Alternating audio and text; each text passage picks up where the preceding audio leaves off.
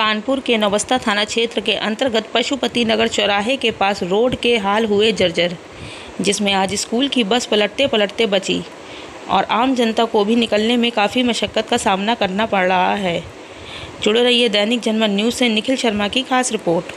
तो मैं आशा करता हूँ जो भी यहाँ के कार्यकर्ता है, उसको यहाँ पर सुधारे गड्ढा ये देखिए, ये उस दिन पे मैंने आपको यहाँ पर वीडियो बना के भेजी थी और देख सकते हैं किस प्रकार से यहाँ पर जो गड्ढा है, यहाँ पर फंसा हुआ है। ये देखिए। अब जाके कहीं बस निकल पाई है और उतनी देर से कम से कम एक घंटा हो गया इस बस को निकले हुए। धन्यवाद।